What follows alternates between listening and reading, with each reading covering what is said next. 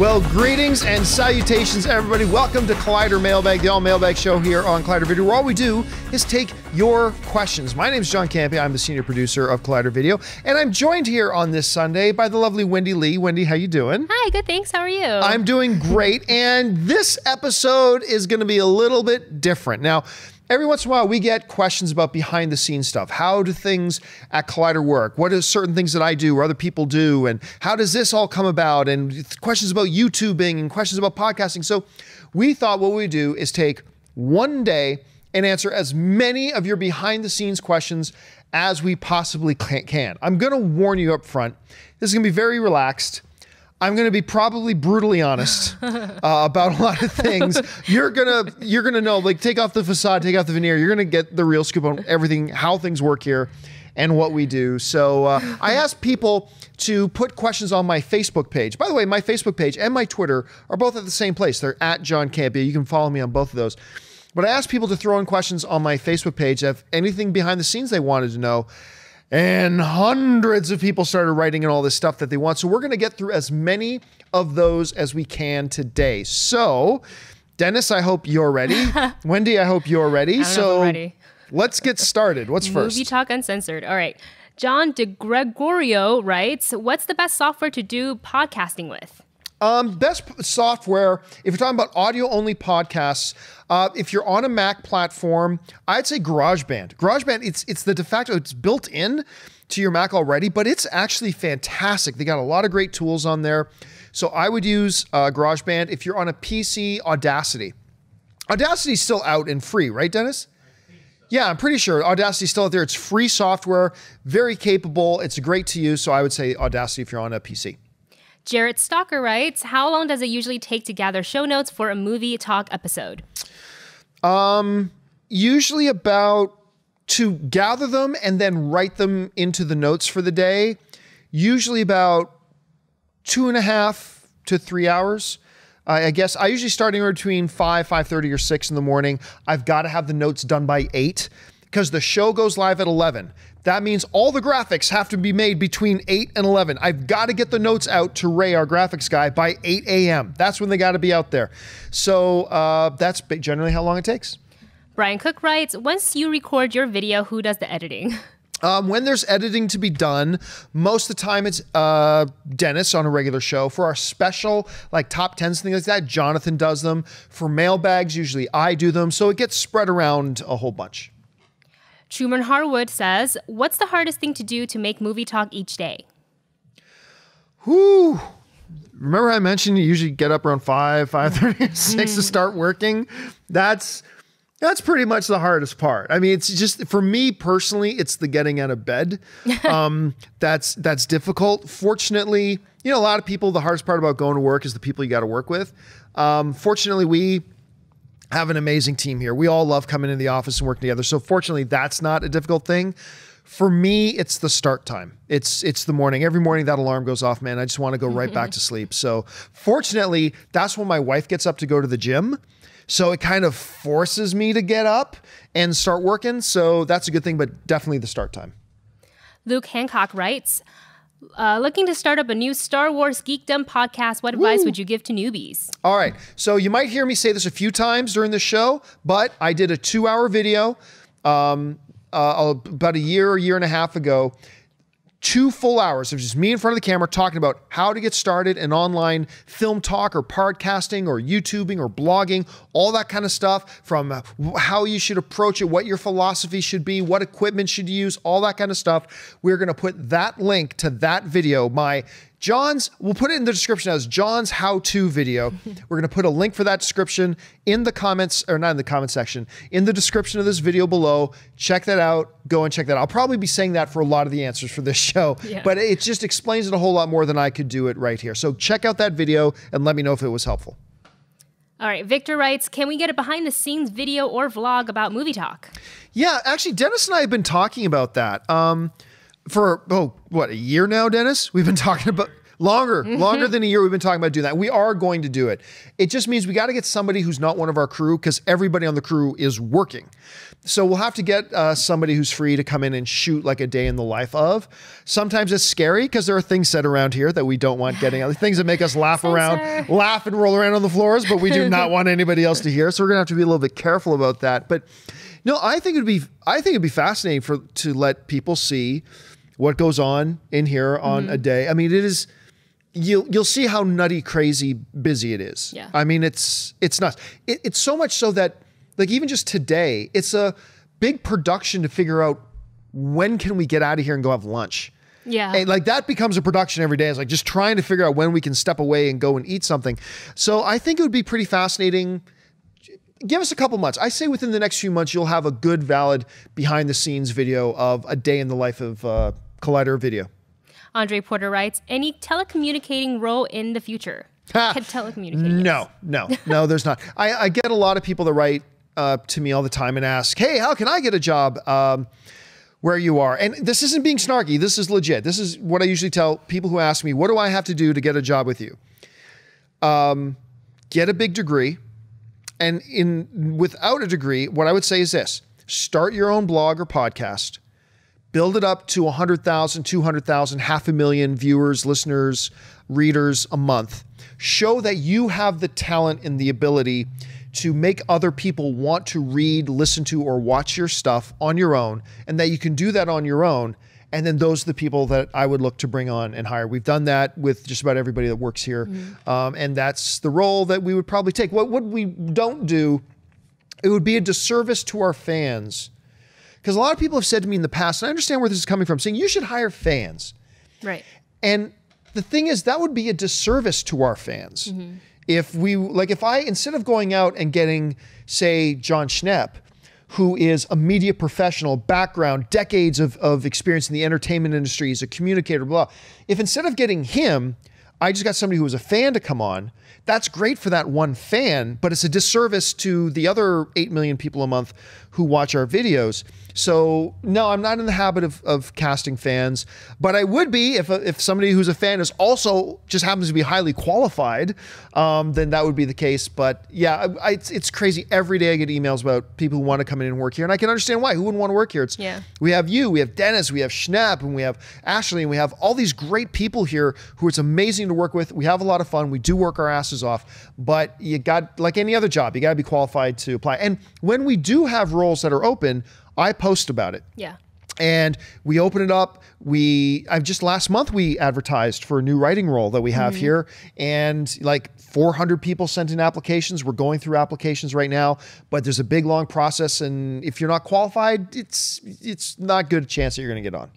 I actually found out about posting for my job on your Facebook. Well, yes, that's right, because I but your job was a little bit different. It's different. It's very different. at the time because I was the way you came here mm-hmm. was I was drowning. I mean, I just I could I was not keeping my head above water. I, I was just starting to sink, and I swore I'd never be one of those Hollywood douchebags that has an assistant. I swore I would never be one of those guys, but I was just like, oh my god, I need an assistant. So like, I was not keeping up, and.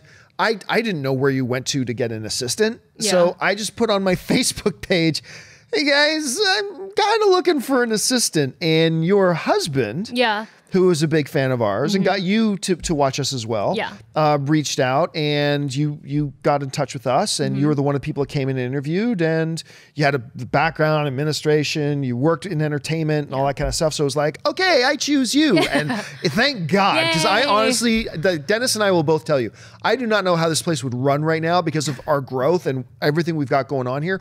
I do not know how we would function without Wendy Lee. So we Oh, are that's so glad that you're here. Thank you. I'm glad I'm here too. All right. Josh Mabley writes, How come Ashley never picks my Twitter question about Marfalump? Ah, yes, Marfalub, the uh, Star Wars digital character used for their marketing stuff. Um, what I also get asked a lot is why doesn't Ashley pick my question, or why don't you pick my question, whatever. I get that a lot, and it's okay. I'm going to give you the the politically correct answer, and then I'm going to give you some some realness. All right, politically correct answer, which is also completely true. We get over 11, 12, 13 1,500 emails and questions. That's not even counting the Twitter questions. All right. That's just the email questions sent in every week. We have time to answer between all movie talks and all mailbags in the week. We have time to answer about 30 to 35 questions out of 1,300. That means that when you shoot in a question to us, I mean, they all get checked out, but if when you shoot in a question to us, you have like, it's a very slim chance that your question will get picked because it's being pulled 35 questions out of a pool of 1,000 to 1,300 to 1,400 questions. That's tough. Now, some some hard hitting reality is also a lot of questions that get sent to us are really stupid. There's just some really bad questions like, "Do you like Spider Man?" I'm not. I'm not going to take the question. Do you like Spider Man? Or, or ask you like. Sometimes people say, "Hey, we've heard you bring up questions that have been asked before." Yes, because we're a daily show. Like if you listen to sports talk radio, which I do, if you listen to sports talk radio in Los Angeles, try to go a week. Try to go just one week without the topic of Kobe Bryant being brought up 17 times. Mm-hmm. Of course it is, because that's what people want to talk about. Um, we're a daily show, Monday through Friday, and we have special shows, Jedi Council Heroes, and we have weekend mailbags, and we do special videos and all that kind of stuff. So we're running 365 days a year practically. That means we have different people watching every day. So, like on yesterday's show, we addressed a question about how do the movie rights actually work? Like, why does some people get in perpetuity? Some people get it unlimited. You know, we address like now that is a question we probably addressed about six months ago, mm-hmm. but that's not to say the question isn't still relevant or that the same people we're watching today watched back then. If you were listening to sports radio and somebody brings up the topic of Kobe Bryant, you're still interested in Kobe Bryant, even though it was discussed yesterday. Um, so, but that being said, there are sometimes people ask questions that have been asked like a million times and just keep asking the same question. And sometimes they're just bad questions. Yeah. Like somebody wants to ask me about a Topio. Hey, do you think a movie about Topio, the Japanese animated dog who drinks tea, uh, do you think that'll make a good movie? Well, here's the thing nobody knows about Topio, the Japanese dog that drinks tea. Nobody knows about it. So if I bring up that question on the show, it alienates everybody because nobody's going to care about that question because nobody knows about that character. That's just an example I'm using. Um, so it, it's tough getting questions on the air. Mostly it's because of the sheer number of questions, but also it might be because your question's a bad question or it's a question that's been asked a million different times. Mm-hmm. Check how you're writing your question. So yeah, that's my best answer. Devin King writes, What are the steps you guys take in doing a daily movie talk show? Hmm. Okay, so the basic steps I've already told you the first part, which is I get up in the morning, I start to write the show notes. The show notes have to be done by eight o'clock because Ray, our graphics guy, needs that time for two reasons. Ray needs the time to then start putting all the graphics together the lower thirds, the sidebars, the pictures that come up, those great images that Ray puts together. Ray makes the funniest the pictures, the best pictures for us to watch. But he's got like under three hours to come up with all of those graphics. So, but not only to Ray, the show note has to go out to everybody on the crew. Dennis has to know what the run of the show is going to be that day. Schnepp and Kristian or Mark and Ashley or uh, Natasha have to know what all the topics are so they can start preparing either you know natasha and ashley have to start doing read-throughs to make sure they can read it as flawlessly as possible. The guys who are the commentators that day they have to start thinking about what they want to see. If they see one of the topics is a certain trailer they got to go and check out those trailers. Uh, they want to do some background research and whatever to figure out what they're going to say on the show. So all that stuff has to happen. Now at 1030 in the morning, we all get together at the board table and we have a pre production meeting. We go over any factual issues, pronunciation stuff, special things about the show. And then about quarter to 11, we all come onto the set. Uh, Dennis and Jonathan get the cameras all set, they get the lighting all set, get the the uh, the live stream ready to go, and then at eleven o'clock it's greetings and salutations, everybody. Welcome, best family relation on planet Earth. You know, and so at eleven o'clock that runs. So, and then when that's done, we roll right into what the next thing is that day. And there's usually lots more to do that day. But uh, yeah, by the time we say cut, usually around noon, uh, 5, 6, 7, 8, 9, 10, 11, 12. Usually by the time we say cut around noon Pacific, Pacific Standard Time, we've been up and running for seven hours already. Mm-hmm. So that's, uh, that's how a standard day in the life of a movie talk show comes to be. And that's just movie talk. That's just movie talk. Yep. All right, William Bond Nunn writes, "What's the best way to market your podcast so that other people can be interested in listening to it?" Um, I've said this a thousand times Know before, and this answer. is yeah, you know the answer to this. Make great content. That's it. Um, make great content. Nothing else will help your podcast. Nothing else will. What I find um, in all the years that I've been podcasting and, and all that kind of stuff, when people ask me about how do I, and I say, ask me about podcasting or YouTubing, they always want to start with the same thing. How do I get people to watch it? Yeah. Um, and you're that's the wrong question. Because by asking that question, what you what you're basically saying is, what's the magic button? What's the magic button that I press? And there is none. You got to make great content. And if you make great content that is interesting and you're good at it and effective at it, then people will be interested and it will slowly start to grow. Not all that doesn't guarantee it, but nothing will guarantee it. The best marketing tool you have is great content. Go and make great content. And just worry about that. Don't worry about how do I get people interested in my podcast. Just do your podcast and keep all 100% of your attention. Doesn't matter if you got 10 listeners or 1,000 listeners.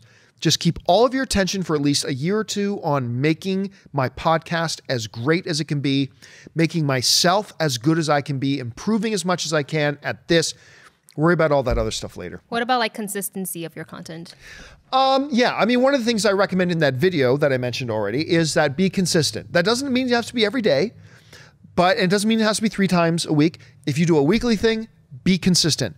Make sure the the audience that you already do have know and can rely on when your next show is going to be up. If you do it three times a week, make sure you do it three times a week. Obviously, there's going to be exceptions here and there, but generally speaking, try to stay consistent. All right, what's next? Justin Pinsker writes, with all the impression and stupid jokes people do, how do you get on there sometimes and not to want to either A, burst out laughing, or in a bad mood, B, punch one of the guys in the face? I would assume that you would never punch one of the lovely ladies in the face. No, uh, no, none of our lovely ladies. Uh, no, every once in a while I've wanted to punch Schnepp in the face or I've wanted to punch Charlotte in the face. Uh, but most of the time, I'm sure they wanted to punch me in the face. Um, most of the time, it's just they we just crack each other up. I mean, and it's not just in here on set; it's out there at the boardroom table or mm-hmm. out in the viewing room or anything like that. Like we, we, we literally, we really do have a lot of fun here. We have a very good time. We work our asses off. We work very hard. We're always like talking about what's coming up and all, but. But we take a little bit of time to enjoy each other's company as well, and we crack each other up, and that's what makes coming in here so much fun. So, and you've seen it happen on the show where like Ellis will say something, and I'll the show will just stop. Sinead called him a loser. Yeah, when Sinead called Mark a loser, like the show just stopped for basically 30 seconds because we were all just cracking up. So those are the great times. Joshua Mink writes, how hard is marketing for Collider Movie Talk, and what are your marketing strategies? Uh, we don't Oh, we don't market. we never have. Um, you know, when we were starting to grow things at uh, bo- both when I was at the movie blog and I was running my own site, the movie blog, and we grew and grew till we had like a million readers a month. And then when I came over to AMC and we started the shows and it grew and grew and grew, a lot of people asked us, "What was your marketing?" And we didn't do any. We literally once, we never once bought an ad. We never once put a banner somewhere. We never once uh, did anything. Later on, near the end, AMC uh, near the end is like when I, I left left AMC, but near that end, AMC started to put like little Jedi Council things here there, and they started every once in a blue moon they'd run like a little indie spotlight, which is a show we used to do. Uh, in front of some theaters, but that was near the end. I mean, w- basically speaking, we have never done any marketing. Our marketing has been our content, our belief that if we make something and if it's good, and it's entertaining and it's informative, then people will come back to watch again and they'll tell somebody else about it. Um, and it's it's crazy, you know. We have gone. Our our growth over the past like three years has been stupid. yeah. Um, our, our monthly numbers continue to grow, our daily numbers continue to grow, and, and we always just fall back on that one thing. We've never asked, what are we going to do to market this thing? We simply ask, how do we make our show better? And that's what we're going to continue. Right now, I'm not saying we're never going to do marketing. I think I hope we do do so. I hope I hope the good people at Complex who are watching this show, Complex who owns us now, they're going to want to put up some dollars and do some big marketing for what we do because then I think we could really explode. But uh, until that day comes, our focus is going to be the best content we can make that we would want to watch as fans, that we think other fans would want to watch, and it's worked so far. So we're going to continue doing that. Paul Michael writes, How many hours do you work a week and how many days? Well, you're my assistant, you know. Every day. Yeah, I, I I basically work seven days a week. I think it's fair to say that maybe there might be two or three days a month I take off. Um, but Saturdays and Sundays, you usually find me in here. Uh, if I'm not here, I'm working on my computer somewhere. I I think it's probably fair to say I work probably around 70 hours a week. Uh, I know Dennis puts in a lot of hours. You put in a lot of hours. Um, but yeah, what we do here is is a lot of work, and you know we pride ourselves on this. I had some friends of mine in the production industry come in here and they saw what we do and they said to me, so this is like a five million dollar a year budget to run this thing. This is this is to do what you guys do here. It's probably about five million dollars a year to do. And I was like, uh, nope. And I told them what the actual dollar number was that we spend on making this run, which is like this small compared to what their number was. But a part of making that happen is working a lot of hours. Um, and it's there's work that needs to be done, and so uh, we do it, and that's that's what we do. And yeah, so it's probably about seventy hours, and, and usually about seven seven days a week, usually, Yeah. at least for me, and and a couple of others. So. You're not going to find Ellis in here seven days a week. That guy's a slacker. All right. What's next? Michael K writes, What is a day in the life of John Campea outside of the hour we see on Movie Talk?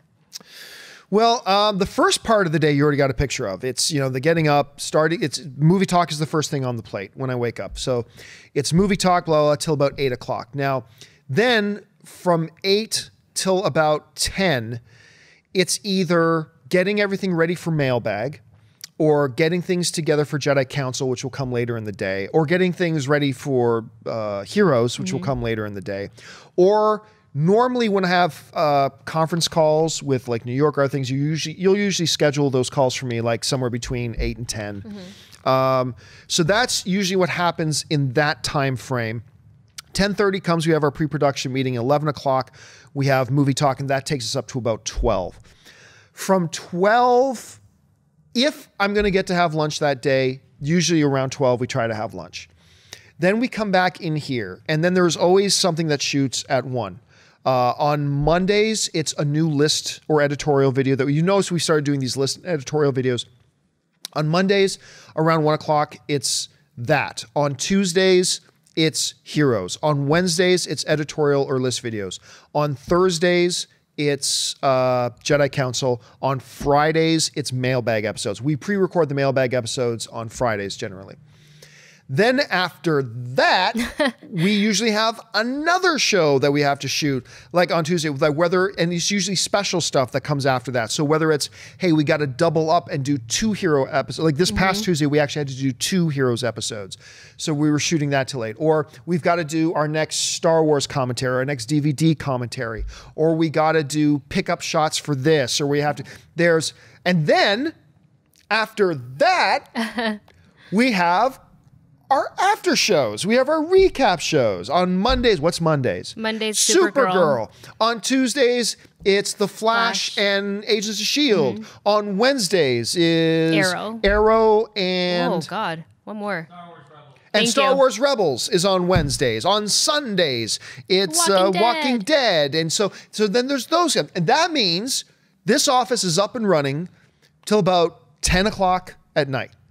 Um, so and then with inside all of that, I'm trying to do the stuff of a producer and a manager of running everything. We're trying to coordinate schedules, which you do a lot of the stuff on yourself, is, is, is coordinating our schedules. But that is a huge piece of a thing. Plus trying to fit in room in there for all these new projects we have going on.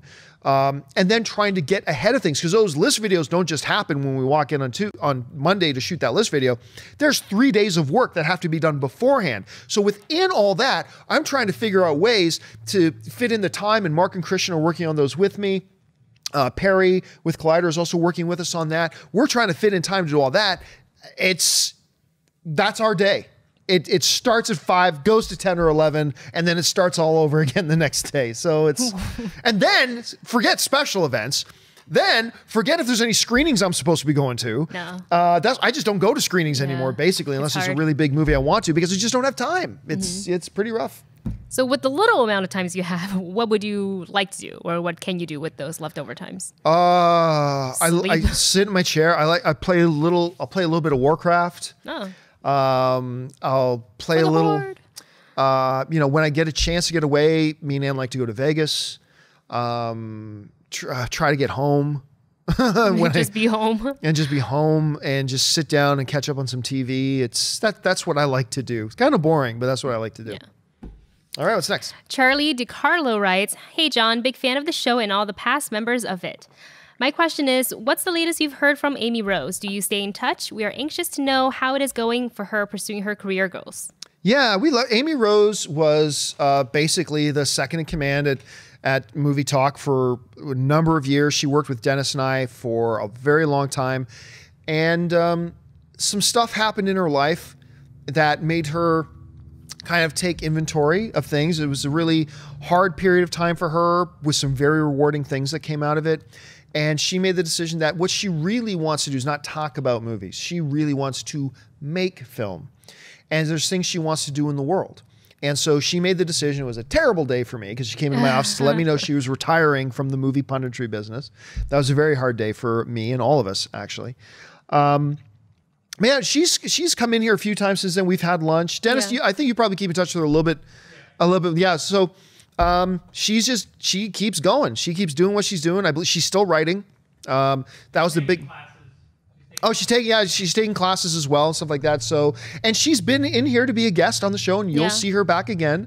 I'm sure to come in and be a guest. I just there's no way we can get her back to work here again, but um, it's uh, you'll pro- you'll see her pop up again. Thank you for asking, by the way, Johnny Smite writes, Does the crew ever get fatigued from the day to day duties? Dennis. Y- every day, Den- Dennis dies a little bit every day. Dennis dies a little bit every day. Um, yeah, I mean, it's a little bit easier for our crew that aren't like full time. So, I mean, Schnepp does does a lot of hours, but Schnepp is not full time. He breezes in here to do his, his shows, and he goes home. Um, you know, Ashley comes in here, does a show, then she goes, uh, things like that. But the people are in here more. Mark and Kristian are in here a lot more Yeah. These days. Um, like we actually have offices for them here now. You are in here every day. Dennis is in here every day. Uh, yeah, yeah. It, it there there are days that we just wish we could shut the show down tomorrow for a day, and we don't. We keep we muscle through it and we go and we do our thing. But uh, yep, we get tired. We get tired and fatigued. I don't want to speak for you. I mean, Yeah. but I assume you do. I, I got burned out, uh, especially in the beginning when all this like work just kind of got piled on top of me, and I was like, I don't know how to manage all of this, and then and then I got over it. Yeah, you have the hang of it. Yeah. you do it great. Thanks. All right, Darshan Patel writes, How do you get celebs on the show? Do you contact them or do their people contact you? It's a mixture of both. Uh, And we, then, sorry. Oh. Um, do they, if they do, are there topics you are not allowed to ask? And how does the whole process go? Thanks. Yeah, well, in, in the case of when um, uh, sometimes a studio reaches out to us and they say, "Hey, we've got an opportunity to have an in-studio interview with so and so. Are you interested?" Now, when that happens, a lot of times that happens and we say, "No, we're not interested." Um, it's just what happens. Like a lot of times, Wendy will come into my office. Hey, we got so and so asking if we want to have so and so on. Are we interested? And I'll go, nope. And they're like, okay. And then I don't have to call them to say no. She I calls them to say no, which is great. Um, and when they do, it's normally to promote a specific film. So, uh, Uh, out of politeness, we say, okay, we're going to talk about that film when they come in. So we'll do that. And then sometimes we have people that we want to have on, and we'll just reach out to the studio or reach out to their management and say, yo, we would like, in the case of like a, a Freddie Prinze Yeah. Jr. or something like that, we just tweet him directly. hey, Freddie, come on in on our show. And then a whole bunch of you started see that we tweeted him, then you started tweeting him as well. And he's like, He what's so going mad. on? Fine, I'll come in. I'll be on your show. And he came in, and he's going to come back. By the way, we're going to have Freddie on again because he was just fantastic. So yeah, it's a mixture of the two. It's a, sometimes the studio reach out to us, sometimes we reach out to them. Mike Vicio writes, Who is the hardest person to work with? Oh, who is the hardest person to work with behind the scenes? Ooh. Oh, that's easy. Me. I, I, know- I don't, I'm not. I'm not joking. I'm, I am absolutely the the hardest person to work with behind the scenes, uh, because I'm I'm the one. You should have seen yesterday. Was not a good day, um, because I I take this job very seriously. I have a lot of fun with it, all that kind of stuff. I take it very seriously, and I take the responsibility we have very seriously. You know, when thousands and thousands of people are setting aside a portion of their day to tune in and watch us, I feel we have a responsibility. And so yesterday, we had a technical issue that was not was not our fault. Nobody on our staff's fault, but there was a technical issue. It was a YouTube issue, and we were started the show 45 minutes late. And when that starts to happen, when I feel like we're failing in our responsibilities to our audience and we're letting our audience down, I get grumpy. I get very grumpy. Mm. And I was like, I'm screaming, pardon my language, but I'm like screaming like, fuck. And I'm screaming, I'm mad. I'm running back and forth. Like Dennis is trying to figure out the problem. I'm running from his computer to check things out to back to my office to check something else out back to him. Where are we at? And blah, blah, blah. It's like, because I, I, I, some, I sometimes get very weighed down by the responsibility of, of, you know, 20 some odd people on our team, the viewers that we have a responsibility to, um, and sometimes that weighs on me. So some, I think, and look, I'm not a bad person to work with. It's just that if you're going to ask who is the most difficult out of anybody, everybody on our team is really super easy to work with. I mean, really, and and people who aren't very quickly are no longer a part of our team. Mm. Um, so everybody who's here and is a part of our team, very super easy to work with, and uh, and so I would say. Uh, who is the least super easy to work with? That and I'm not, I'm not just trying to be humble or anything like that. that would be me. I am i am the only guy here that might be a little bit difficult to work with. So all right what's next? Ryan henry writes since coming to collider you've added new talent. Have mm-hmm. you done this because you couldn't get amc members back after the switch or does the new cast cost less? Um, well no like we there's only really actually now we lost two key people. When we made the switch from uh, amc over to collider and you got to remember, we didn't just switch from AMC to Collider. There was a long series of interconnected events that led to that happening. I actually left AMC. I, I, I quit my job at AMC. Um, even though I still have a very good relationship with a lot of the upper brass at AMC, uh, and we kept in contact. All the kind of I've got, and AMC is still my favorite theater chain. Nothing but good things to say about AMC. But so, something came along and happened that made me feel like I needed to go. Um, after I left, um, I started the process of trying to figure out what I was going to do next. And I started taking some meetings and, and taking some offers. And then ultimately, um, I decided to come and work with Complex, which owns Collider. And because they were just wonderful, had a great vision, all this kind of stuff, I just felt very in tune with, with what they were talking about and what they wanted to do here. So I accepted that job and I wasn't making it public yet what I was doing. Now, after I had accepted the job, I was still working with one of the chiefs at AMC in a transitional period because I didn't just quit AMC and let leave. Like I quit and I gave them a month. I didn't give them two weeks notice. I gave them four because I wanted to make sure everything transitioned really smoothly. Um, and we were working out how that was going to happen, and it was starting to become apparent to me, unfortunately, that AMC I don't think they felt, and I think they were wrong about this, but they didn't feel what was happening here could continue to run without me.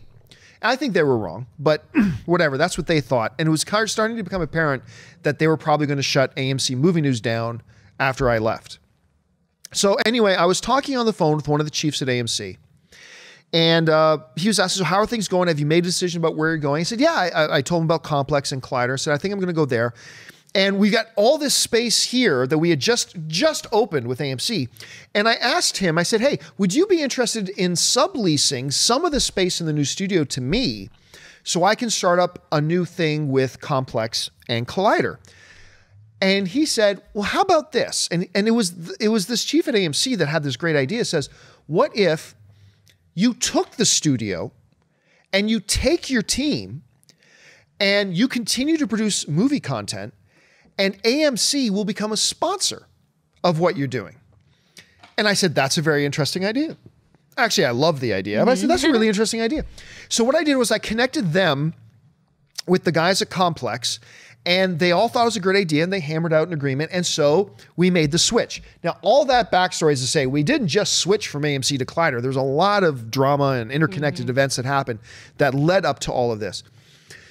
But when that happened and we moved over, um, I didn't, this is really behind the scenes stuff here. Um, what was understandable was I had just been at AMC for five or six years, and every year our budget got bigger and bigger and bigger and bigger. So it's totally understandable that starting at Complex on year one, my budget here would not be the same budget that I had on year six at AMC. So our budget was smaller. Still a very generous, a very good budget, but it wasn't the same budget we had on year six with AMC. That meant we had to make some really hard, unfortunate decisions. And one of the unique things about our situation is that normally the people you see on camera aren't the people who are in charge. So the people who are in charge of making all the the decisions, they're the people you don't see on camera. And the but unfortunately with AMC Movie News and now Collider Movie Talk and all that kind of stuff, the person in front of the camera is also the person making the decisions. That makes me very unpopular whenever decisions or changes have to be made. And as a part of the budget, we were faced with a really hard, some very hard choices we had to make that we didn't have the same amount of money that we had before. And so there were two very key, important, wonderful people um, who we adore that we weren't able to bring over with us. One was an in front of the camera person, and one was a behind the camera person. And uh, and that was uh, Alicia, and that was uh, Jonathan, who was behind the camera. And I always promised myself that when we get to the point, because you know, Alicia at the time was, was hosting two great shows for Yeah. us, Indie Spotlight and Rewind uh, as shows. Unfortunately, they were also the lowest rated shows we have, but we love those shows. And Alicia did an amazing job with them, and we thought it was important to have them just because they rounded out what we did.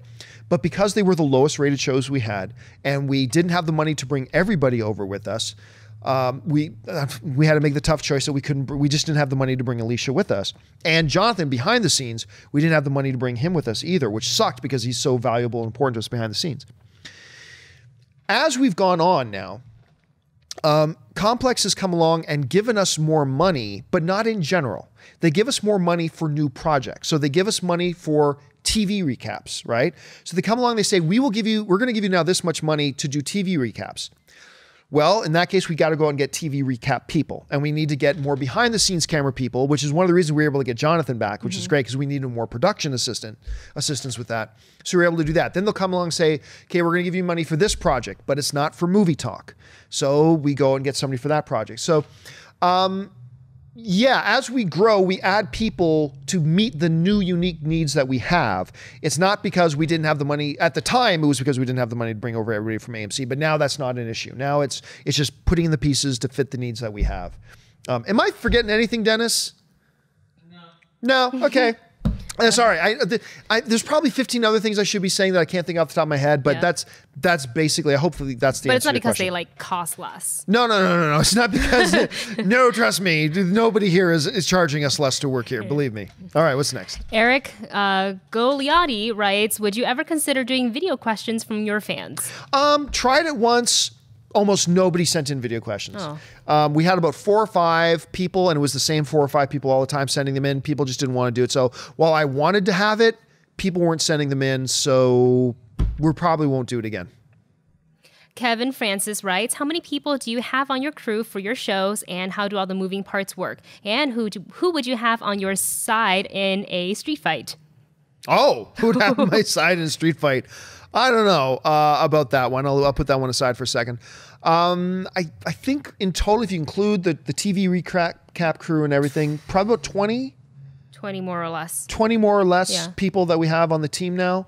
Um, so there's a lot of different moving parts. How do they all work together? That's a two hour answer to Yeah. give. So, um, so yeah, so basically right now we have, we have roughly about 20 people working with us.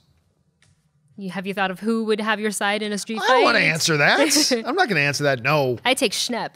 All right. John DeGru, I can't say his last name. John says, What's the best software to use when you're editing and doing YouTube videos?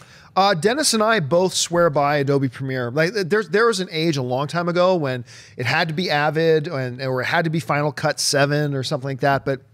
Times have changed. Uh, Premiere, a lot of major productions use Premiere now. We are big fans of Premiere, and so Dennis and I both use uh, Adobe Premiere. Allison Chrisman writes, When are you going to have a live audience for filming? I would love to watch you guys film an episode. If it's up to Dennis, the answer to that will be never. Uh, Dennis does not want rats, uh, little rugrats running around in our living room. Um, I don't know. It's it's tough to because organizing something like that is hard. I got to imagine probably at some point we will do something like that, but right now there's nothing on the books. We'll keep you updated. Dana Marie Henderson writes, What made each of you want to do what you're doing right now with your careers? Thank you and keep up the good work. Uh, grew up as a movie fanatic. Uh, first childhood memory is my mom watching Star Wars with me. Been hooked on movies ever since, and it's always wanted something I've wanted to do. What about you?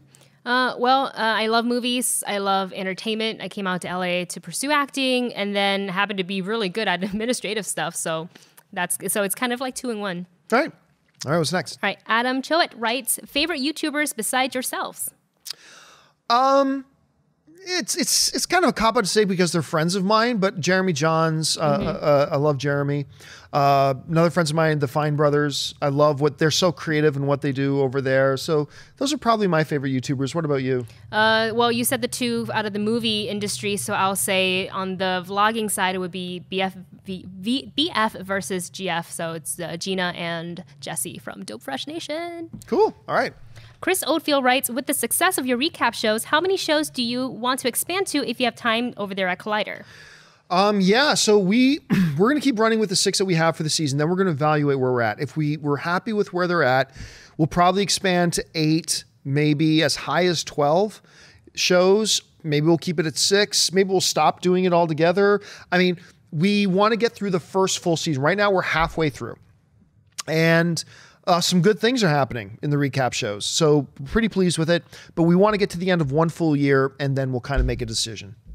Jason Noah Patrick writes, what settings do you use when rendering final videos before uploading to YouTube? Uh, Dennis can correct me if I'm wrong, but I believe we choose because of file size and stuff like that. We normally export our shows as uh, as uh, in the H.264 codec using MP4, and because they we get great quality out of it at a reasonable.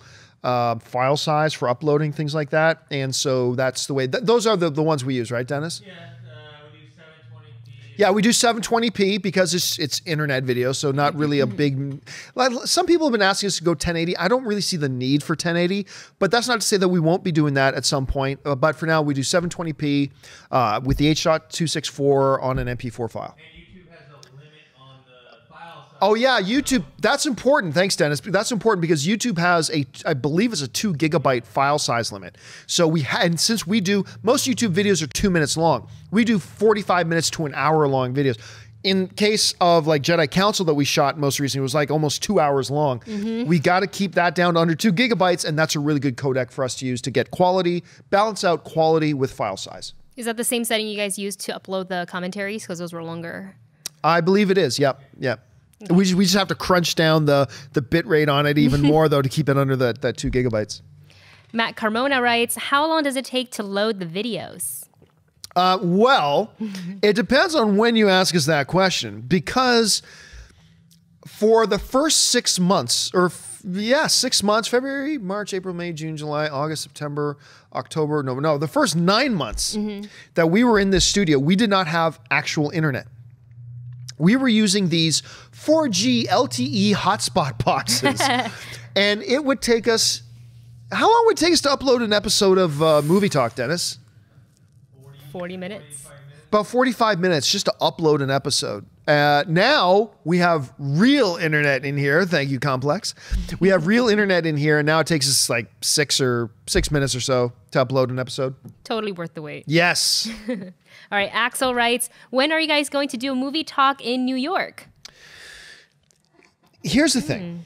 Um, we have talked every year about maybe going to New York Comic Con, and we came close this year, but we didn't because it's expensive. It- it's it's really expensive for us to get uh, five of us because probably the minimum number of us we'd need is four or five to fly us all across the country, put us up in hotels in New York, be there. I mean, that's an expensive endeavor. So it's got to happen because now, unlike with AMC, AMC, our headquarters were in Kansas. Kansas.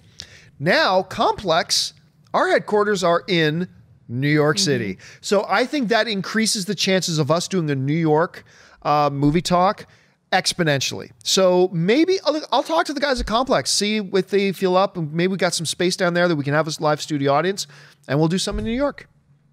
Matthew Rowetz writes, how long does it take to edit an episode?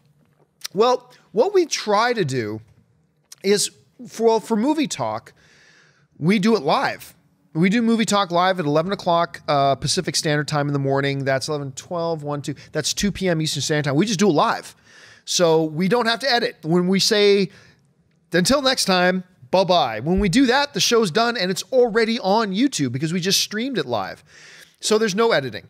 Um, and then other shows that we do, like, say, Jedi Council, what we try to do is we try to do them as if we were doing it live. So we start the show, we have all the graphics ready, just like we were doing a movie talk episode, and we do the show from start to finish as if we were doing it live. So if everything goes right, and it doesn't always go right, but if everything goes right, when we say bye bye, the file is there. It's done, and we don't have to edit it. All we got to do is upload it. Sometimes something goes wrong and we got to fix it up a little bit, and that doesn't take too awful long. What takes a long time are these new list videos that we're doing. Those take hours and hours and hours and hours and hours and hours to do. And that's why we got Jonathan. One of the reasons we brought Jonathan back on is that he's just really dedicated to put making those and editing those. That those take a long time. All right, Ray Ray writes, are the TV recap hosts or Tiffany Smith, will they ever be on Movie Talk occasionally or just on their specific shows? Um, we already have had some of the TV recap Yeah. shows, like David, Josh. uh, Josh Macuga, um, uh, Jason, Jason. Inman has been on there. We've had Tiffany Smith on the regular show Clark from Wolf, time to time. Clarke Wolfe as well, who does Supergirl and is a guest on. So Mm-hmm. yeah, you'll absolutely continue to see them pop up on Movie Talk every once in a while. Vic Rivera writes, who do you never want to interview ever again? Side question, do you still think about the De Niro interview and the handshake that never was? Yeah, I think about that every time I see Robert De Niro on the screen. I think about that incident. That was awful. That was so awful. um, uh, Tommy Lee Jones. Never want to interview Tommy Lee Jones. I will always look forward to seeing every movie he's in. We'll never want to speak to him. did uh, you ever get to interview him or was that just Amy Rose? No, it was it was we've on two occasions we sent people to interview him, and he's the worst interview in the world. I will hang out with him at a bar and, and chat with him, no problem. But as far as junket interview goes, never want to do it. He's the worst in the world for it. Jack Campbell writes, who runs the cameras when Dennis is hosting? Um, That would either be uh, Jonathan will go back there and run the switcher. Sometimes, on a rare occasion, Ray. Sometimes you. Sometimes Wendy will go back in there do that. So that that's who backs up Dennis when he's got to be in front of the camera. Rudy Pena Jr. writes, would you consider doing DVD reviews? It's possible. I mean, here's the thing. Remember how earlier we were talking about our daily routine? I don't know how we would stuff in DVD reviews into that, but it's possible. I'm not going to lie. It's something like I know me and Kristian sat down uh, maybe about a month ago and start talking about the possibilities. I don't know how logistically we would do it, but it is something that's on the radar a little bit. So hang in there. Let's see where we go with that. Selvin Moreno writes, who is your favorite UFC fighter? Um, I have two, uh, and both are for the wrong reasons. One is uh, greatest pound for pound MMA fighter of all time, in my opinion, George St. Pierre.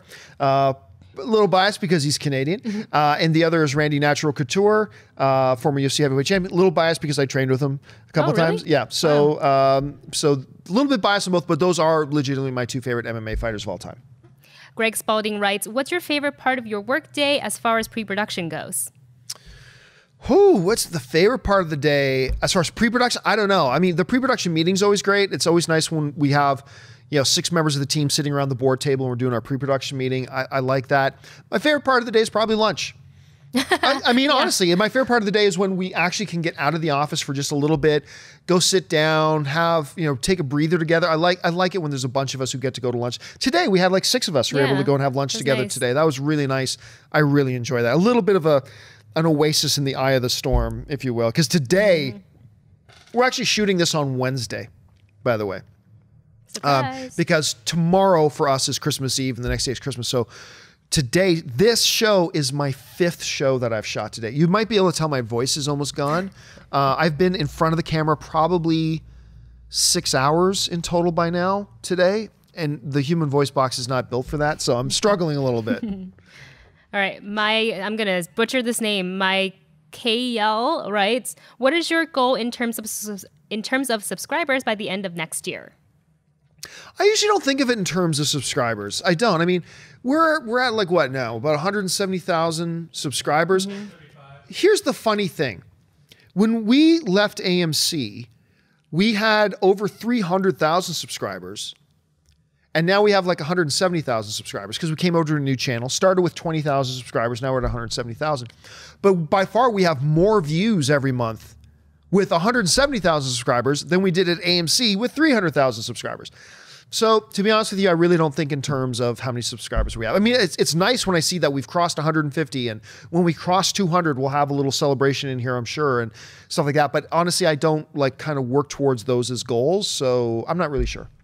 Ray Ray writes, Our Friday movie talk reserved for guest hosts, and what pool do you select the guest hosts from? It's not that they're reserved for guest hosts. It's because I mentioned what my days are like. It's nice when I can get one day out of the week that I don't have to get up at six and write the show notes. So Dennis, who is as capable at this as I am, uh, and, and, probably the most knowledgeable guy on our crew, uh, Dennis takes over Fridays for me. And sometimes we have regular crew here, but sometimes regular crew want the day off too, and then we bring in some guests. And so normally we go to. Um, hopefully, one of our regulars can join Dennis, and then we'll probably draw from like our TV crew or bring in some guests that we know that also work in the industry. So that that's usually what happens. Kaye Ota- Otake writes, "Who would be your dream guest on the show?" George Lucas. George Lucas or Steven Spielberg. I mean, they're my two heroes, so one of the two of them. Justin Stockholm writes, "Have you ever thought of doing a 24-hour special?" We have done a 24-hour special. We did uh, when the Philippines was just devastated by that typhoon, um, and like millions of people were without shelter and food and water. We did a 24 hour marathon. Uh, and you guys were so great. I think our goal was to raise five thousand dollars, and by the end of it, we had almost raised thirty thousand dollars for the relief efforts, thanks to you guys. Um, but it also almost literally killed us. We were sick, mm. terribly sick for, from doing that. Um, if the need arises, we'll do something like that again.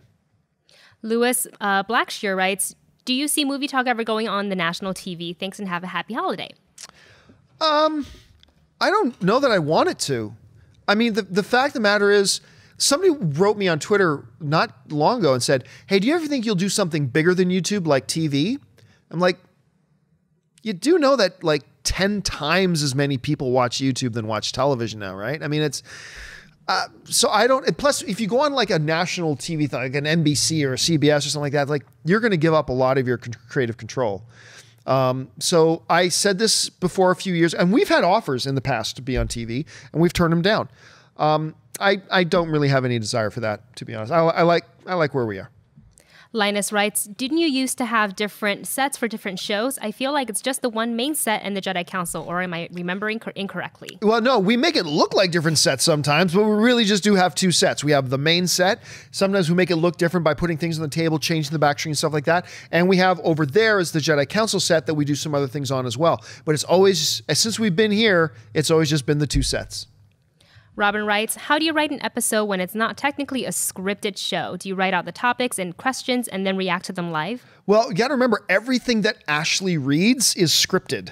Everything that Ashley or Natasha reads is scripted. So, uh, like what Schnepp then says and what I then say, that's not scripted. That is just all punditry stuff. But everything from the topics, the questions, blah, blah, and everything that the hosts read, that's all written out in script form. So, there's the answer to that. Jimmy writes major differences slash better and worse experiences between AMC and Collider. Oh, mm. um, I'll I'll say this: AMC were visionary and wonderful to deal with, and but you but one of the things you got to remember too is they're a movie theater company. They were not a online video or media company at all. And so they weren't a lot of help. Mm-hmm. I mean, they, they supported us, they gave us the money to go. Mm-hmm. and just think about that. They're a movie theater chain, and yet they had the vision to say, you know what? Here's some money, go and make this thing happen. And that was awesome. It was like, it was a real pioneering spirit kind of thing that they had. And we, that gave us tons of freedom to do a lot of different things and build what we've built.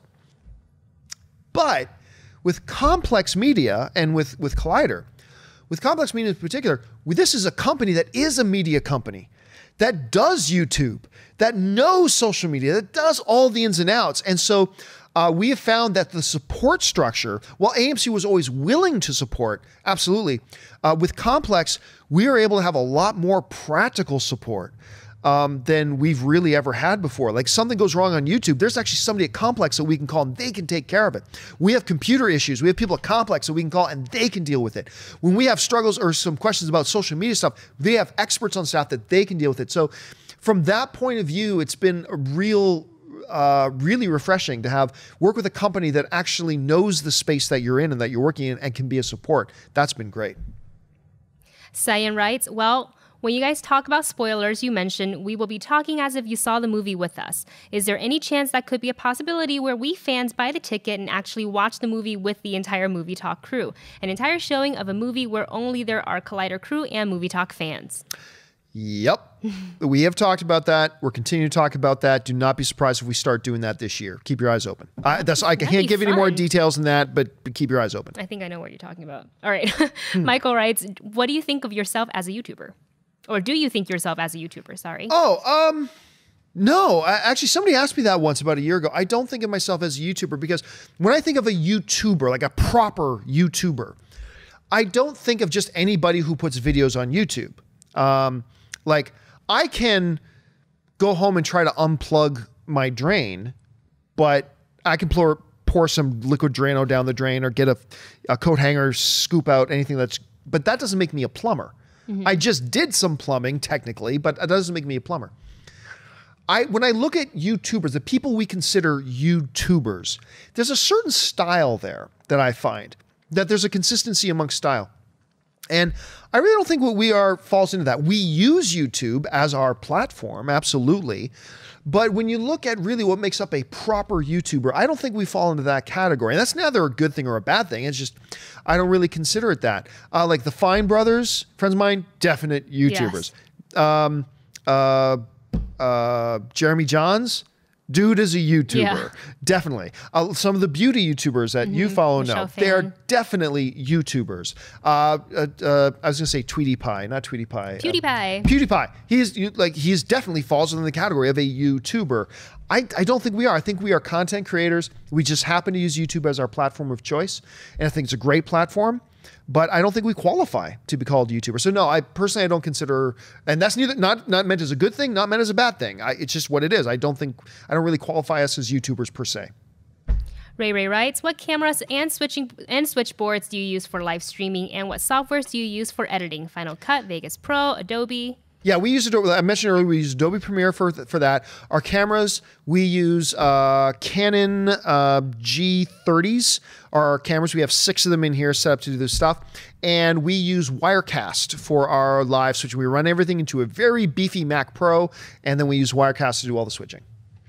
Uh, I can't say his first name. Pej writes, "Male host, more female commentators, older commentators, daily, weekly special guests, backup weekend mailbag movie talk hosts." Okay, f- for the backup, like some people will say sometimes, oh, why do you always do mailbag? Honestly, it's because nobody else wants to do it. um, I am. I do not run around here looking for more things for myself to do. Believe me when I tell you that. Now, don't get me wrong. I enjoy doing mailbag. Very. I enjoy doing mailbag. I really do. I, I actually have a lot of fun doing it. It's one of my favorite things that we do here.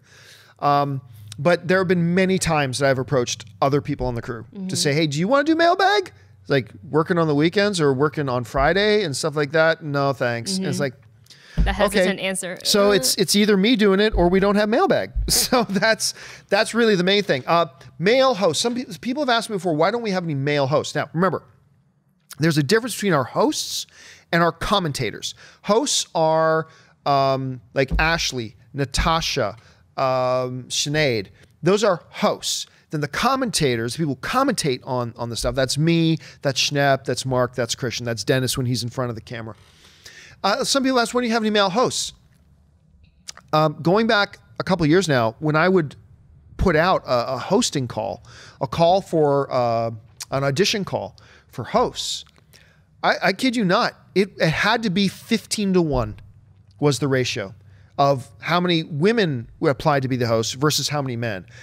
My experience has been, and my experience is neither right nor wrong, it's just my experience. My experience has been that a lot more women um, get into and train and are serious about the role of hosting than uh, than men are, and I don't know why that is. I, I don't think that should be the case, but that's just kind of been my experience. and and therefore you basically get more qualified women who are better at it um, than the men I've come across.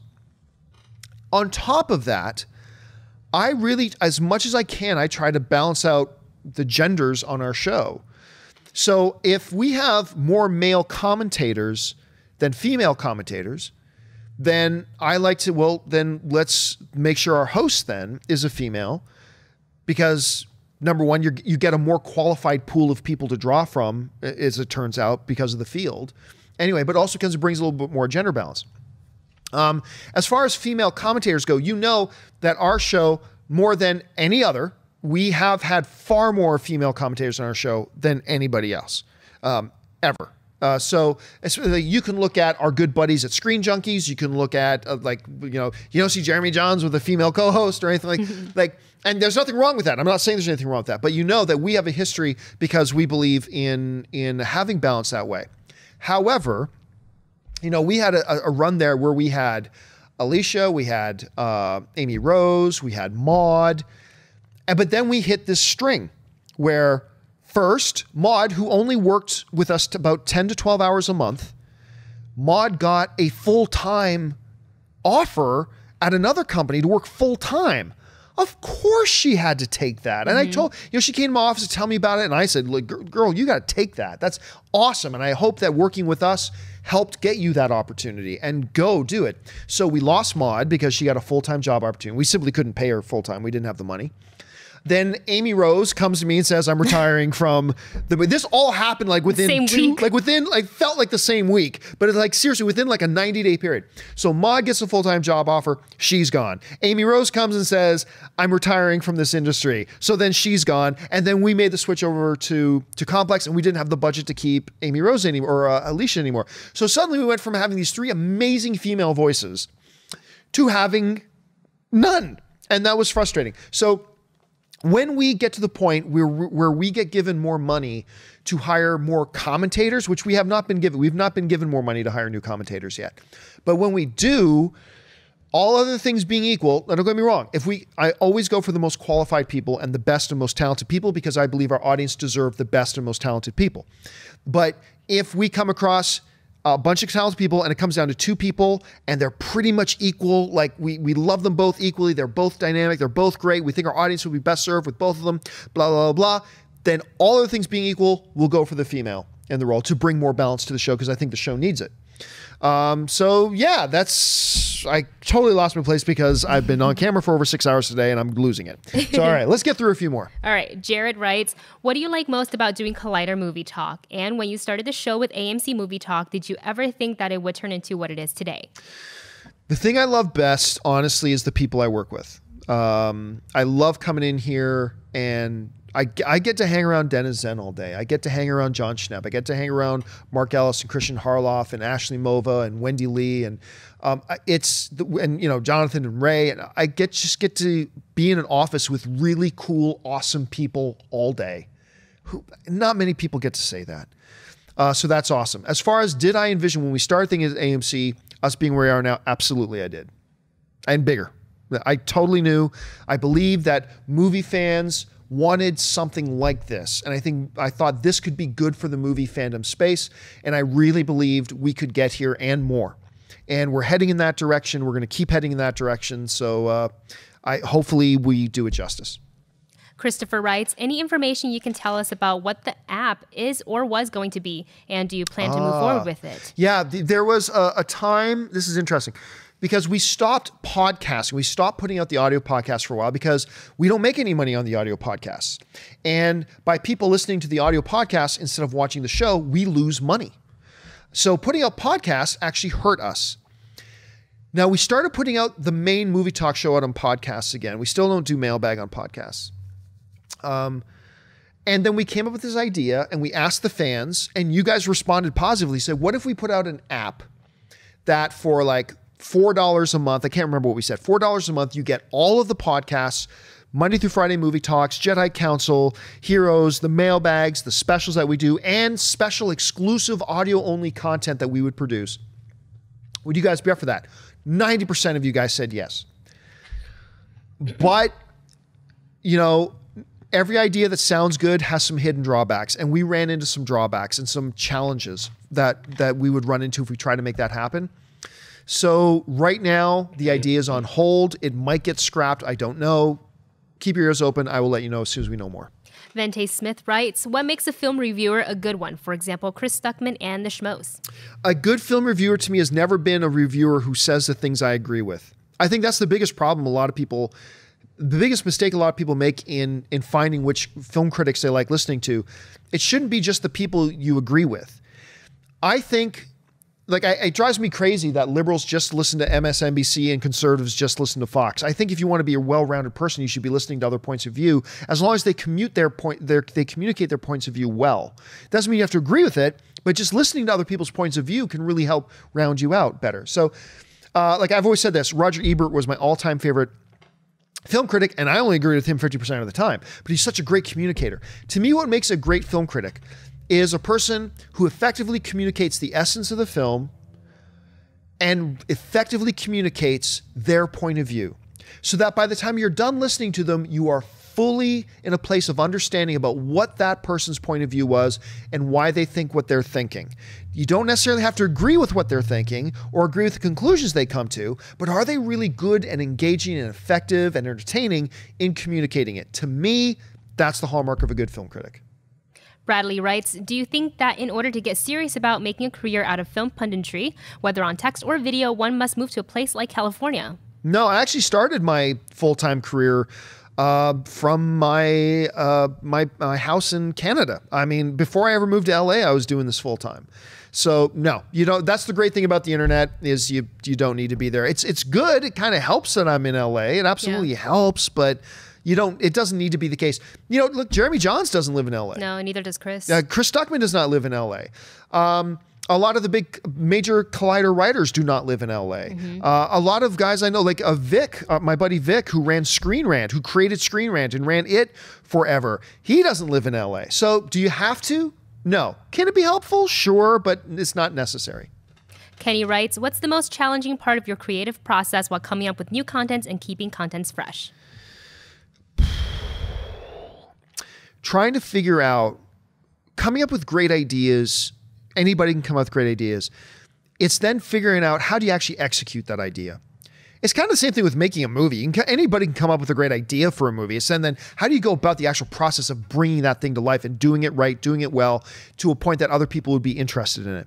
That's always the hardest part. We have great ideas around our boardroom table all the time, but can we actually do it? Do we do we have the time to do it? Do we have the pieces of the puzzle that we would need to make it happen? Would our audience actually be interested in it? These are all things. So it's not the idea phase, it's the execution phase. That's the most challenging. Kyle writes, What kind of equipment setups do you have? What cameras, what editing tools or software? Just curious about all the general stuff. Yeah, we got some pretty decent lights. Like I said, the Canon G30 cameras we use. We use the Rode Procaster uh, microphones. We love these things. We use Wirecast as a Wirecast setup. And as I mentioned a couple times, we use our Adobe suite here, both Photoshop for graphics, Premiere for video editing. Eric writes, Any plans to expand the number of shows you have, maybe more TV related contents? All right, let me say this. We have some plans right now. We've had some very, very exciting conversations lately. Um, and we might have something pretty big that we're going to announce here pretty soon. Now, as far as TV content goes, that's really more most of our recaps. You're, what you're not going to see us do is Collider TV talk. You're not going to see us do Collider TV talk. We just it's not going to happen. But more recap shows that might happen. And as far as other new shows, keep your eyes open. I'm hoping before the end of January we will have an announcement that we can make. Um, just keep your eyes open. It's something that keep me that's literally, literally seriously is keeping me up at night right now. Um, so keep your eyes open. We'll get to that later. Eric writes, seeing as how you operate a YouTube channel, how much do you and possibly the crew watch YouTube videos besides movie trailers?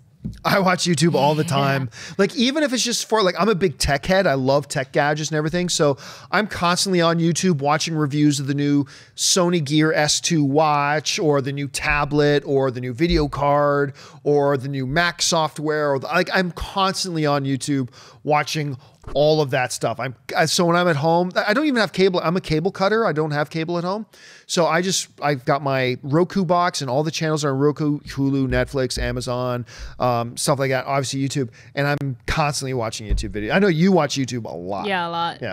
All right. What's next? All right. Uh, Sean writes, "What was the transition between AMC to Collider, and how do you plan on expanding in the future? Beside that, love you guys at the Collider video. Love you guys. Just keep it short. Uh, well, I explained the transition already about how we came from there to here. It was it was it was hard. There was a lot of behind the scenes stuff going on. Uh, I wanted to save the team, and I, for the most part, we were able to do that. I'm really thankful for that. Um, how are we going to expand? Expansion comes from success. Do well with what you have, and then build on that. So we're in a place right now where we're still building out what we've got. And we do have film room for growth in the future. We do have plans for growth in the future. That has something to do with my last answer about mm, we have plans, but I will tell you guys more about that later. Josh writes, "Who or what was your childhood influences that made you fall in love with movies?" George Lucas, as I mentioned before, Star Wars was my first earliest childhood memory. Totally set the path for me in life about wanting to be creative and be involved in the film industry one way or another. Absolutely, that's it for me. Justin writes, "Hey John, my question is, if you wanted to start a movie blog, where is the best place to get movie information without having any insiders besides you guys, of course?" Lots of uh, i cover that in my video the two hour video i told you about. Look in the description for that. But you know uh, the great make sure you use rss readers and stuff like that. Follow uh, the hollywood reporter variety uh, the wrap um, the uh, what was nikki finke's old thing? De- deadline. Uh, follow sites like coming soon. Obviously follow collider.com um, so those are keep, just get an rss feeder. Follow those things. And you'll be kept up to date on everything going on in movie news Lunar Cat writes, "Would you ever do a movie talk reunion?"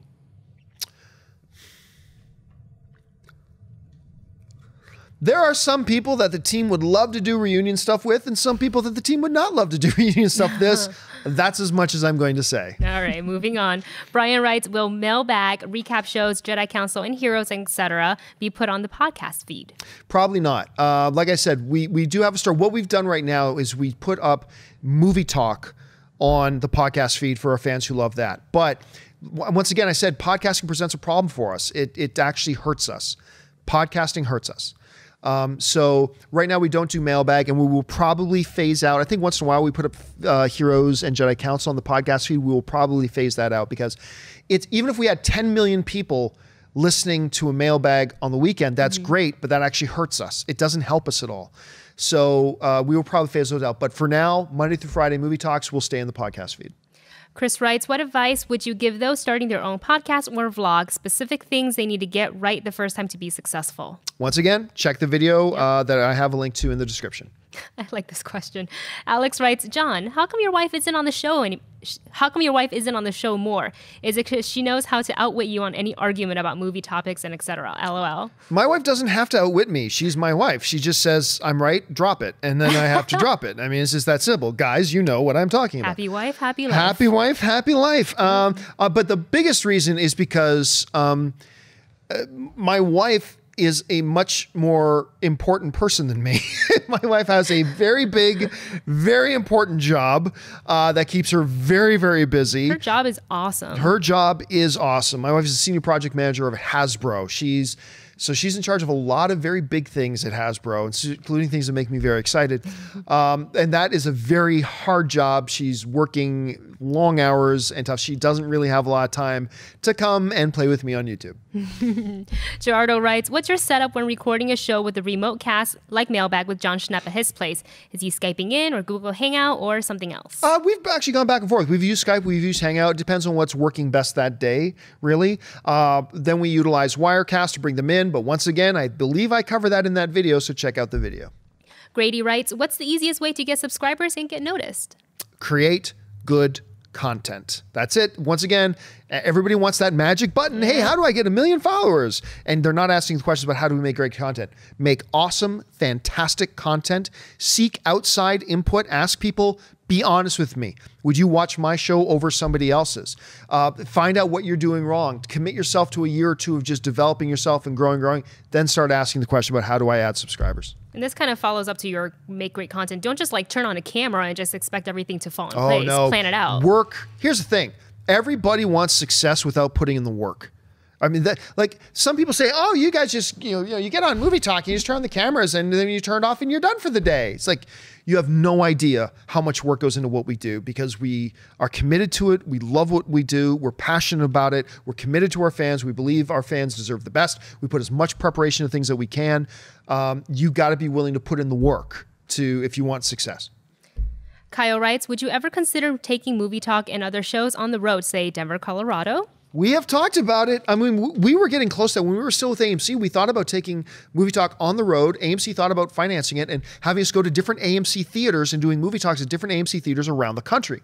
We thought that would be really cool. That doesn't really work with uh, because Complex isn't a theater company or the, with every city in the world. Mm-hmm. I don't know. Maybe I talked to AMC as one of our sponsors. hey, you want to sponsor a movie talk roadshow and, and we'll feature and highlight a different AMC theater in a different city across the country? There you go. I'll pitch that to AMC. See if they'll go for it. Hope they're watching. Hope they're watching. Jonathan writes, ever thought of doing a special extended edition of Mailbag? Not the weekend shows, but a big show with multiple people to cover questions. Uh, like I said, nobody else wants to do mailbag. I can't. I can't get people to work on weekends or even on Fridays. Uh, a lot of times, because we're so busy, we can't even do mailbag on Fridays or Thursdays, and I have to do them myself. And I have to come in on Saturdays and Sundays, and I do them myself. Things like that. Uh, we we just you know everybody in the crew has a life and they work hard, and there's just. Uh, the reason you don't see more people on mailbags is John just wants to do it by himself. No, I've asked. People just don't want to do it, and they're not available. They like their time off. Josh writes, will there be a phase four for Collider? And if so, what do you have planned? Ah. It's the plans. it's the plan. Again, hang tight. You're going to hear what we got coming up. Zachariah writes, will you be doing any more movie movie March Madness? Yes, in, Mar- in March we will be doing another movie March Madness tourna- tournament. I don't think we've finalized what it is that the tournament is going to be on this year, but keep your eyes open. We love doing them. So yeah, there's going to be one in March. Brock writes, what are some of your favorite, funny, or most heartfelt moments from behind the scenes of the production with the crew? Our 100 million party was great. And I'm not even talking about the party itself. There, there were a few moments at the 100 million party that all of us were able to just be together before we went out with the rest of the crowd um, in the back room. And to, I, I Dennis, I think, had this moment too, because Dennis has been with me pretty much from the beginning of this, that we were able to just stand back and look at the crew that we had and then realize there were hundreds and hundreds of people out in the party area waiting for us to come out. And that that was just a great moment for me. Uh, it was really great. It was also um, a moving moment for me. I really love that a lot. So uh, yeah, that was that was a big thing for me. Chris Oh, writes, oh, one month, one others. Oh. The both the first and the second time that we won uh, best show at the uh, at the Internet. Academy of Web Television Awards. Um, those are being out there in Vegas at the award ceremony, winning with our team. Um, that was uh, that was fantastic.